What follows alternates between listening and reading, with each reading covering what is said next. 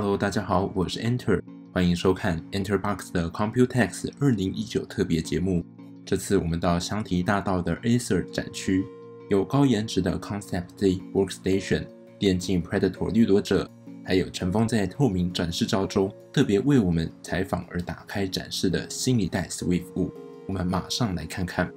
Hello，大家好，呃，今天很开心，EnterBox 能来到我们 Acer Computex 的展。那我们今天要介绍的就是 Acer 电竞的品牌，呃，这个是我们 Predator 系列，这个叫做 Helios 七百，它是我们呃最高规格的电竞笔电，这是呃 for 我们最 hardcore 的 gamer，然后呢，呃，需要最高规格笔电的电电竞玩家。那我们今天要介绍的就是这个很酷的 laptop，它有很多很酷的地方。第一个要介绍就是它这个键盘，它叫 Hyper Drift 键盘，它其实可以把这个键盘往外拉，然后呢，它就有一个音音声音效果，然后就觉得哦，可以赶快就是呃 ready to battle 这样。然后它里面有附我们 Acer 自己的第四代呃 Aeroblade 3D fan，然后有两个。那如果你手放在这里的话，你可以感受到它其实非常凉，然后风力非常的大。那它其实有四个风速，第四个最快的是要把键盘划开就可以呃 activate，所以呢，它它其实散热效果是非常非常好的。然后这键盘打开之后呢，可以呃加强这个散热效果高达十四 percent，所以其它其实是非常强的一个 laptop。它里面呃有我们呃 ninth generation Intel i9 的 CPU，然后它有搭配我们 NVIDIA 呃 RTX 二零八零，所以它其实是非常高规格。它可以装呃 up to 六十四 gigabyte 的 DDR4 RAM，所以其实也是很好的。那另外一个 Acer 呃专利的今年刚呃刚出来的一个科技就是这个 WASD 的键。它其实可以换成我们所谓的 Mac Force 键，那这个是什么呢？就是它不是只是按或是不按，它可以感受到你的按的那个压力，所以可以轻压或是重压。所以如果你从轻到重的话，它可以让你的角色做不同的动作，比如说从停到走到慢跑到快跑，所以它有点就是很像一个 controller 那种感觉。那这个是玩家可以很轻松的自己去呃 DIY 这样换，很容易就把原本的拆下来，然后那个 Mac Force Key 放上去，对，所以这这一个呃这个笔电其实是非常高规格的，然后呢，它就是属于我们重重量级玩家的。那呃，我非常建议你可以来看一下，体验这个 Helios 七百。所以我今天要来介绍的是呃 Predator 最新的一个 monitor，它是四 G 四三七 KP，那它是世界上第一台四十三寸，然后我们有四 K UHD 搭配我们的 one 呃一百四十四赫兹的一个刷新率。那同时间的话，它是有得到我们的一个 VESA Display HDR 一千 nits 的一个认证。那另外的话，呃，在显示器部分，我们还有搭配我们的呃 NVIDIA G-Sync Compatible 的一个认证，所以它是最呃高规格，然后它的解析度是最好，那会让你有更多的临场感跟它的一个细致度。那另外它还有一个是呃 light sensor 的一个功能，它可以侦测到你的环境，就是你的环境的灯光去做变化，可以让你的呃视觉不会的那么的贫乏。就算你长时间一整天的话都在就是盯着荧幕看的话，另外它还有搭配了我们这个 IR Moto Control，所以就算你是在三公三公尺之外，你都还可以就是使用这个遥控器来做调整跟呃设定。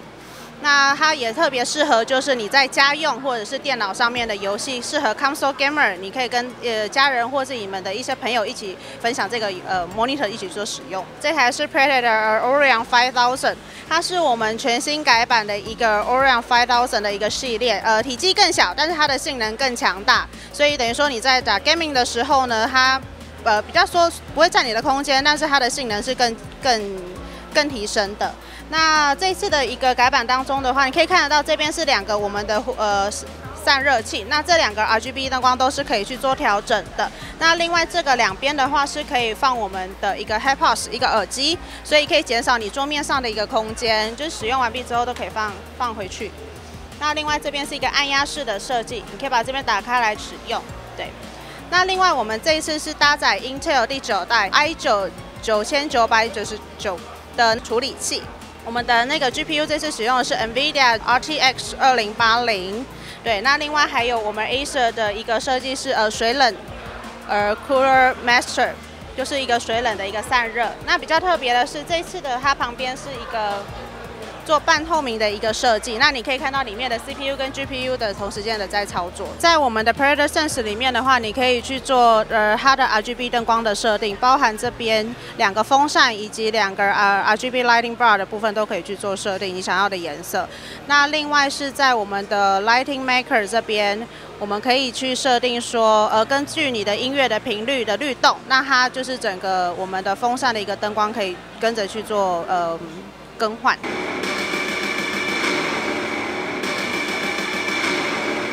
Acer 还有最新的 Swift Five，那它跟上一代不同的呢，它是笔电里面十四寸，然后它是最轻，但是它还是保有呃它它这一个这一代呢是有显卡的笔电，所以它跟在市场市面上的一些笔电很不一样，差别就是它是虽然它呃它有独立的显卡，但是我们的重量还是让它就是保持在九百九十克。所以这个这个笔电呢，对于像一些呃，就是像一些上班的人啊，或是一些像 business travelers，他可能很长很长需要就是一直呃去出差，或是在呃行动的过程中，很让他们很能够很方便携带。那除此之外，就是它我们提供了这样子方便携带携带的一个用处。此此外呢，呃，我们并没有牺牲它的效能，所以它也是有就是 long battery life 的这个功能，那就是能够让他们在 traveling 的时候就是 always connected，就是不会。去断掉。那同时就是在可能他们出差过程中啊，他们需要一些比较强的像 WiFi 的 conductivity 或者怎么样的话，我们也提供就是像 WiFi Six 这样的功能，可以让他们随时不间断，然后一直使用这样的笔电。那这个呃这台笔电它搭载了。它搭载是 Intel 最新的第十代的处理器。那刚刚就像我刚刚所提到，它也是有显卡，它是搭载 NVIDIA 的 MX 二五零，所以就是有这样子非常长的效能。呃，此外呢，我们还提供它非常非常轻的重量，就像你可以一只手就可以拿起来，然后很呃随身携带带着它就是到处行走。所以它真的只有九百九十克。大家可以看到这一台是我们 Concept D，然后就是 Lit Up 的系列。那其实我们想要今天跟大家分享一下，为什么会有 Concept D 这一款。这一个系笔电的系列，然后以及我们相对应的做几个荧幕，是因为我们发现，在 Predator 他们的 user 里面，Predator 是我们就是 Premium 的电竞品牌，但是我们发现就是有十五 percent 的玩家，基本上他们并不是买 gaming 的。那个笔电或者是相关的一些设备拿去玩 gaming，他们其实是拿来做就是一些 creative 的一些就是可能 software 的一些执行这样子。那我们同时其实也发现，就是在 gamer 圈里面，我们 Predator 是有一半以上的就是玩家，他们其实也是用他们的就是电竞的产品，然后拿来做他们的工作。所以我们就在思考说，那。如果今天其实是有一群人，他们今天他们是因为没有更理想的产品的选择，所以他们去透过就是电竞的这些设备来完成他们的工作话，那他们其实是不是可以？有更适合他们需求这样子的一个产品，所以我们才会发现说，哎，这一群人，他们其实从 two D、three D 到 engineer 都涵盖。那他们其实我们就 naming 它叫 creator。那我们就是 for 这一群人，我们去设计了 concept D 这样子一个系列。那我们主要有四个重点，第一个就是 precision，就是我们非常强调它的精准度。那精准度我觉得最明显就是大家可以去看它的荧幕，它是强调就是 for K，然后是 Pantone Validity 的。的认证这样子，然后它在解析度上跟它的色域上面，它的 Delta 值至少都是小于二起跳。那我们高阶产品是小于一这样子，对。那你也可以去看，再就是它的解析度，因为它都是我刚刚有提到 4K，然后也是 IPS，所以基本上它不管你从任何一个角度去看它，它都可以非常的精准，对。然后解析度也可以达到就是专业的要求这样子。那再来就是我们可以去看它的外观，它的外观其实非常的 low key，那基本上。在 creative 的创作者里面，他们都非常的重视美感这件事情，所以这部分也都可以 fit 他们的要求。那我们在产品设计的话，如果你靠近它，你去看它的背光，它都会有个 amber light，那一个有点接近琥珀色的光芒，其实是我们对它的一个 design language，就是去诉求在科技的感里面，还会有一些人性的暖温暖的那种感觉在里面这样子。那再来就是说它的 performance，因为其实我刚刚提到 creative，他们为什么会需要用到 gaming 机器去完成他们的工作，是因为他们有很高的一些 performance 的需求在 CPU 跟 GPU 上面，和这件事情跟我们在 gamer 他们的需求其实又有一点不一样，所以我们有针对 creator 他们去搭载我们就是 Intel 跟 Nvidia 他们个别特别是为了 creator 去设计的一些相关产品，来更符合他们的一个需求这样子。然后再来最重要的还有一块就是跟 gaming 很不一样，就是我们非常重视安静这件事情。就是你可以看到我们 Concept D 的产品基本上都诉求低于四十分贝，对，四十分贝它是一个非常安静的声音。那其实这也强调了，也再次考验了我们在 cooling 这一块的一个能力。因为我们在 gaming 的部分我们有很强的散热，那我们也不在这部分我们有。做过一些改善，然后让我们的机器可以用更安静的方状状态，就可以就是达到一个很安静的一个状态，那让他们在工作的时候可以更专注。那我们特别想要提到的是说，在抗噪音的散热这件事情上，我们是用我们第四代的金属风扇。那透过我们用猫头鹰飞行的一个概念，这个灵感去改善了我们的风扇的造型，包含加入锯齿状，然后以及就是在扇的结构上面、金属结构上面去做一些调整，然后让我们 totally 可以达到这样理想的状态。大家好，我想要为大家介绍的这一台呃 CP 七。专门给影像工作者的一台就是专业型的荧幕。那为什么说它是最高规格的？因为它其实是我们呃整个系列当中有 CP 七跟 CP 三系列。那两者的差异其实在于说，呃一个是 Visa Display 一千，然后另外一个是 Visa Display HDR 四百这样子。那为什么说它是我们最高规格？大家可以看到，其实就是整个外观加上呃整个设计，其实是给 Concept D。呃，这个品牌，然后我们的受众是 creator，专门的做设计。那影像工作者部分，大家可以看到这个 ID，其实就是我们有专门就是一个遮罩给呃专门的影像工作者去做使用，因为他们在使用环境当中，其实很需要的是呃比较暗的环境，然后去专注在呃荧幕画面的本身，那可以产就是有呃避免反光的呃是一个设计。那角度的部分也是针对着品牌的一个特性，还有 creator 他们比较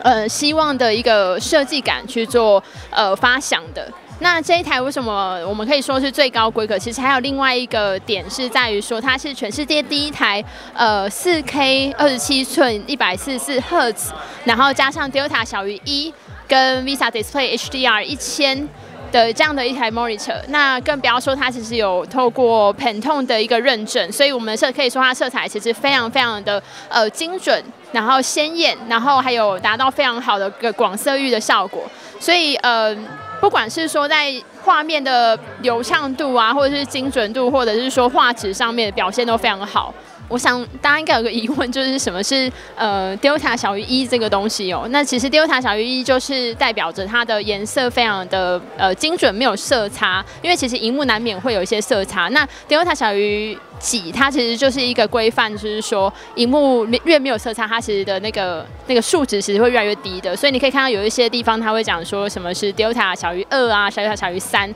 那这台我们就是呃 delta 小于一这样子。好。那呃，关于 Adobe 的 RGB 的一个认证，它其实就是一个色彩的广色域的一个就是规范。那 DCI-P 三也是一样。那我们这台有达到九十 percent 的 DCI-P 三跟九十九 percent 的 Adobe RGB 小呃这样子的一个色彩的空间，所以只是说这台颜色其实非常的鲜艳，也非常的漂亮。那它可以达可以呃在整个荧幕上呈现的那个色彩的广度，其实是非常高的。那呃，Visa 认证 Display HDR 一千这个东西是 Visa 这个组织他们就是呃。近年度开始的一个新的一个规范，那最高规格的其实就是一千这样子。那接下来还有六百跟四百。那我们可以说，其实一千为什么是最高？其实是因为呃我们在通过这个认证的时候，其实必须要把整个机台送去呃 Visa 的这个组织去做，不管是测试也好，或者是说呃他们才愿意说给我们一个这个认证。那它必须要达到很多很多规范。举例来说，它的亮度必须要达到一千。它也可以说它是有通过这样子的 Visa Display HDR 的一个一千的一个认证。那我我们是第一台将这样子的一个规格把它导入在呃商业的荧幕的这样子的一个产品里面的。好，那最后就是呃二十七寸 IPS 4K 一百四四赫兹这个呃一个规格。那 4K 不用讲，它其实就是呃现在相对来讲非常高的一个四 K 的 HD UHD 的解析度。那一百四四赫兹这个东西是它的呃更新速率。那也就。呃，其实，在一般来讲，就是商业用商业用型的电脑，其实很少把一百四十赫兹这个东西加进来在荧幕的呃规格里面。但是我们这一台，因为考量就是它的使用者本身，我们希望锁定的是在影像工作者，那他们需要做很多影像剪辑的部分。那在高反应的速率跟更新速率上面，这台达到前所未有的一个高规格，所以让它可以在做影像剪辑或者是编辑或者是制作后置当中呢，就是可以感受到说这个画面的流畅度跟清晰度，大家可以做更好的一个创作表现，这样子。这边我们帮大家介绍是我们的就是 Concept D 五百的这一台桌机，就是大家可以看到，它其实是一个就是外形非常就是简洁，然后它是以采取圆弧，然后北欧简洁设计的一款桌机，非常的漂亮。那我们可以看到它也有很多北欧简洁色彩，但是它有一些自然的元素在里面。那首先我们可以看到它的顶盖，它的顶盖基本上是我们有做一些木纹的处理，而且我们其实还蛮特别，是我们把很多的 I/O port，就是一些输入的 port。不管是音源孔或者是 USB 的插孔，我们都是放在这上面的。所以基本上我们一般使用桌机的时候，我们都会有需要跑去后面找这些插孔。那我们现在的话都全部整理在这边，让消费者可以很直接的去做各式各样的一些传输。而且我们还很贴心的附了一个防尘盖，所以就是这也可以。让消费者就是在使用的时候可以就是用更顺畅，而且是有防尘的效果这样子。那我们再来看到这边也还有一个耳机架，因为基本上我们发现就是也蛮多创作者他们其实是很喜欢就是享受音乐，所以这边可以有隐形的支架让他们去放他们的耳机这样子。那你这边看到它的整个进风口的设计，我们也是有特别去设计，就是我们是用采取三角的一个集合，然后我们开了很多风扇，所以在这边它会就是抽。就是冷空气进去，然后有助于做散热。那我们这里面也有加装，就是我们的金属风扇这样子。那整体的噪音它其实也是会低于四十分贝。对，那我们在它的规格上面，我们其实是用就是 Intel 就是第九代的 i9 的 processor。然后在 GPU 的部分，我们是用 NVIDIA，然后我们是上到就是 RTX 的。四千对，那基本上这个技术他们也都是有搭载他们 for creator 一些可能 ray tracing 或者是一些可能 deep learning 等等的这些技术，其实都可以帮助他们去更优化他们的一个作业这样子。那在这款机器的背后，就是还有一些极限的功能，所以它可以把它的极限的部分，就是让它在管理它的一些后面的一些 cable 上面，然后可以更加方便跟舒适这样子。那以上就是我们对。那个 Concept D 五百的一些介绍，对，那它基本上是八核心的产品。